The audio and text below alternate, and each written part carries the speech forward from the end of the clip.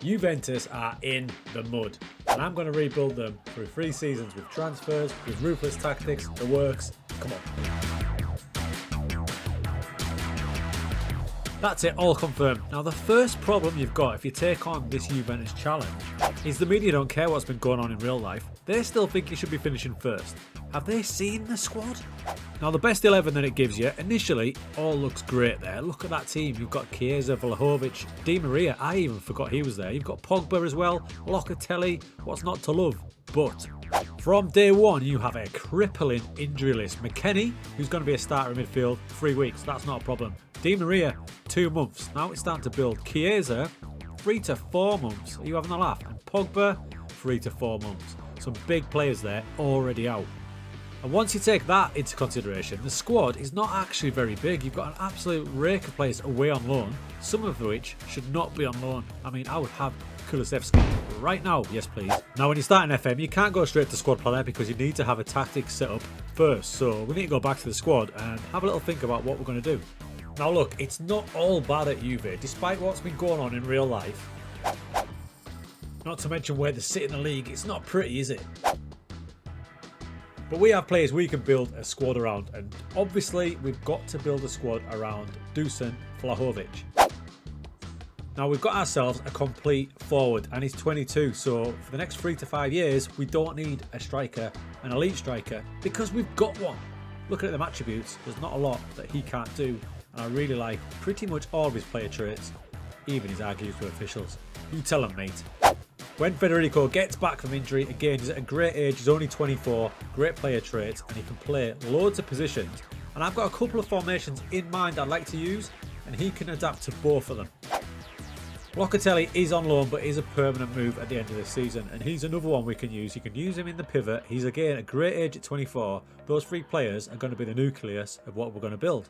Now, in and around those three players, we've got a lot of experience that we can use for maybe one or two seasons, but they will need replaced, and we'll get onto the squad planner and we can see where we can do that. For example, Cuadrado, what a wingback he is, but he's now 34. Now, his physicals are great, but they're going to start declining, so we'll have to keep a replacement for him in mind and also at centre back, we've got Bonucci, who's 35 now. His physicals are great still, but the acceleration pace has never been a strong point, and that's going to get worse as well. So we're going to need a centre back as well. We've had a good look at the squad. I think it's got potential with a couple of key places to tweak it, but let's get on to the tactic or tactics that we're going to try and work this team into. So I'd like to use a 4-3-3. It's a safe formation you might say, but the players that Juve have got currently, that's going to help us build something pretty special, I think. Roles I'm not sold on yet. We might tweak a few, but for now that looks pretty good. Now, the initial problem I said about the injuries we've got the start, let me show you this. So if I got a quick pick, and just put pick without restriction, the best 11. Bang, in it goes. But look down the side there, you've got one, two, three, four, five of our alleged best 11 are not available from the get-go. So we're going to have to adapt a bit. But back into the team. I love the wing backs in Cuadrado and Sandro, but Sandro, like Cuadrado, is 31 now, so they're two positions we're going to look to get replacements for. Great couple of centre backs in Bonucci and Bremer. In fact, if that good on the ball, I may even bring in a ball playing defender. We'll see how the friendlies go. We've got Locatelli in that pivot. Not completely sold in the DLP role. I might make him a bit more defensive. This role here for Pogba, I think, is perfect for him. Mezzala on attack so he can roam into these positions here. And when you pair him with the box-to-box -box of McKennie up and down, and Di Maria one side, Chiesa the other, all in behind Vlahovic, that's a pretty solid 11. Pretty solid 11, but there are going to have to be changes. There's Cuadrado, there's Sandro, there's Bonucci, there's Di Maria, all getting old, and we can't really rely on Mezzala Pogba, because even though he's only 29, his injury record is abysmal. By the way, I forgot about the second tactic. You can see how the second tactic will work. It looks pretty nice, doesn't it? Chiesa one side, Cuadrado the other, the three centre backs, and we've got a double pivot in there. So that's another option we're going to use. But for now, it's time to see what we did in the transfer market. We've identified what we need. I don't know if we'll get them all in. First off, the budget is not great, really, is it? We've only got 15 million, and the wage budget is diced. I don't know what to do here. We're going to have to cash in on some players, I think. I've transfer listed Danilo, he is 30 years old now, and if I can get 12 to 13 million, I'll gladly take it. And there's some big clubs after him. I've banged Rabiot on the list as well. If I get 10 million for him, I'd be happy. Get that wage off our wage bill. We've set our scout setup off anyway. We've got them looking for wing backs either side, centre back, and two attacking wide men. Fingers crossed. Rakes of players are out of contract, and I'm not going to renew any of these, which might be quite shocking, but I'm just going to see what's going on. All this planning for the future is all well and good, but we have one major problem in Season 1. And it's this, the club vision of the board. We're going to do very well not to get sacked here, reach the latter stages of the Champions League, win Serie A, challenge for the Coppa Italia. Have they seen my injuries? Now, having panicked a bit, I thought, let's have a look who's out on loan. And the list is substantial. Look at that. The good news is that some of them can definitely be part of our future. First is Denis Zakaria. Now, he is a good option to play in any one of these three roles. The problem may be, though, that he does have an agreement with Chelsea. They have the option of 24 million. I just hope they don't take it. Luca Pellegrini, I see, is a really good option for our future left back. He's only 23, he's on loan at Frankfurt at the minute, so he's going to be playing at a good level. He's due back at the end of the season. Same for Nicola Rovella. He's on loan at Monza, so he's going to be in our league. We'll be able to see how he develops. He's only 20, good all-round midfielder. So this may save us a bit of money. So I know now I've got some players coming in the end of the season. I just need to worry about this blooming season. Three days later. You join us in November at the World Cup break, and it's been a busy time in transfers. Check it out. I managed to get Rabiot off the wage bill. He went to Man United for 13 million, exactly what I wanted. Also out the door is Danilo. He's gone to Spurs, another decent amount of money, 13.75 for a 31 year old. Well happy with that. So two out, bringing us in about 27 million. Two of the experienced heads we wanted out. I've managed to bring in four new players. Check these boys out. First off, we needed someone to follow in Cuadrado's footsteps, and we've gone for Dodo. He's unhappy at the minute because he can't get past Cuadrado, but he's one for the future. He didn't cost as much money either, cost around 16 million. And I think you'll see for that, yeah, pretty decent. And the other wing back we wanted cover for Sandro. What we've ended up with is a starter in Dimarco. He came in from Inter on loan, permanent signing for 13 million at the end of the season. Delighted. The long-term replacement for Bonucci is Goncalo Inacio from Sporting. I used him in the beta. He was great last year. He's only 21. What a signing he is. He's cost us a bit of money. With installments, it's going to be 25 million. But what a signing for the future. And the last man in, the long-term replacement for Angel Di Maria, Nicolas Gonzalez. He came in from Fiorentina.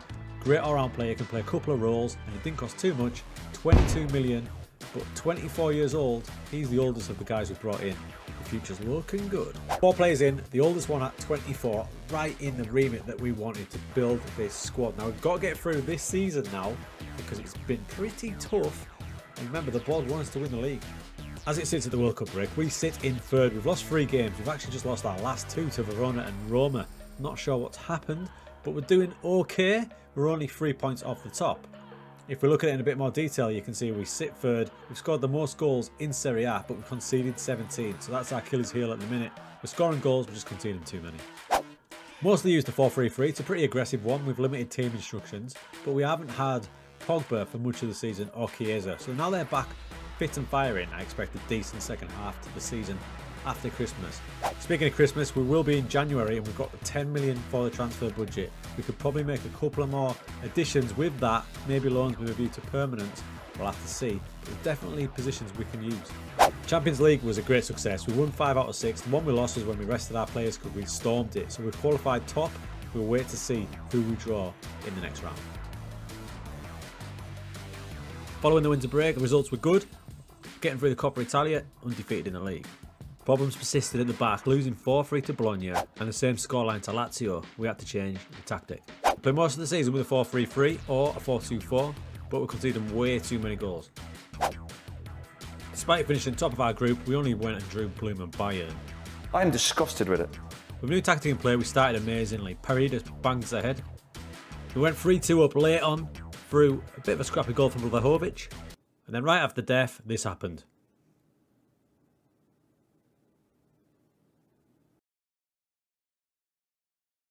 First leg, 3-3, great performance. And then the second leg happened. Just watch this.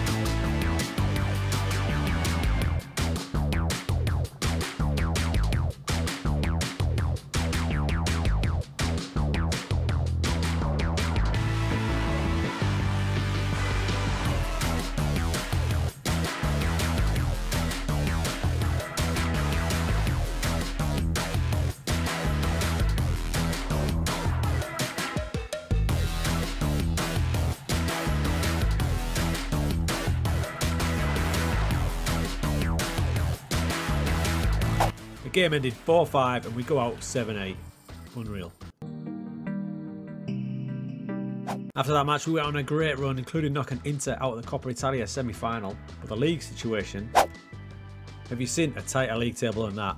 Six teams in with a chance of winning it with five games to go.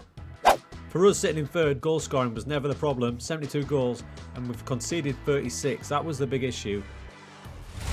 Two games to go, we were still in the title race, then an absolute howler from Bonucci against Bologna of all teams for Orsolini. We lose 1-0, we can't win the title. In fact, after an injury-ravaged season, we finished fourth. We get the Champions League, but the board weren't too pleased. Maybe you're expecting me to say I got sacked, but there was a redeeming feature of the season. After knocking Inter out the semi-final, we played Milan in the final of the Coppa Italia, and the boys dominated the match, winning 2-1. So we get some silverware in our season one of the Juventus rebuild. Quite happy with that, you know. All the injuries, all the upheaval, I'm okay with a Champions League finish and a Coppa Italia and a really unlucky exit from the Champions League. New signings were class, let's have a look. Dimarco will be our first choice left back next season. I want more from him, he got caught out a few times in defence but that was probably due to the old tactic. Dodo was very much backup for Cuadrado. Lovely first season for Inacio, he will be starting next season because we are binning Bonucci off. But the standout was Nicolas Gonzalez, not a regular but had a great season, 31 appearances, 11 goals, 7 assists, He's going to be a top class player and I love that he can play all three positions up here. So fourth place in Serie A gets us the Champions League for next season and that all important money. Knocked out ruthlessly by Bayern Munich in the Champions League and in Coppa Italia so we got a trophy. So next season. So what I like to do at the end of the season is if I've got my tactic I'm settled for next season which I'm settled with I've taken out players that aren't going to be there next season that we want to replace. We need a striker to go next to Vlahovic. We need a new right wing back because Cuadrado's gone and I don't think Dodo's quite ready yet. And possibly a new keeper. You might be surprised to see. Pogba remains, but when I switched him to Segundo, he had a really good season. Let's have a look. 29 appearances, 6 goals. He was a constant threat with them pinging balls. So Pogba stays. The other man who stays is Di Maria. Switching him to wide playmaker. He was class. Not as much running for him. Just concentrate on his passing and his flair. He stays for one more season. But we've still got a big rebuild to do because the starting 11 needs about 3 and the squad needs more. If you take a look at the bench options I've got down here, Paredes, who is on loan, he stays. That's agreed, that's agreed already, he stays. Kulusevski is on loan at Tottenham at the minute and they haven't bid for him yet, so he could be coming back, and that would be huge. Luca Pellegrini comes back, he's going to be the backup to Dimarco. The team's starting to look nice now. Zakaria could also come back as another body in central midfield because Chelsea have not yet bid for him, so that's another option on the table. Rovella comes back as one for the future, so midfield looks solid. The only place we're really lacking is probably up front. We've got Moise Kean, but I need someone of a higher quality than him to partner Vlahovic. So the rebuild of Juve rolls on. So you've seen the positions I need, namely a striker, a right wing back, a goalkeeper. Who do you think we should get? We've got about 30 million. That's going to go up a little bit. So there's a bit of wiggle room. Let me know in the comments who you think we should go for. Season 2, we've got to go for the title this time. We've got to go for the title. We're probably looking to stay in the job with that Coppa Italia win. We need the title. See you soon.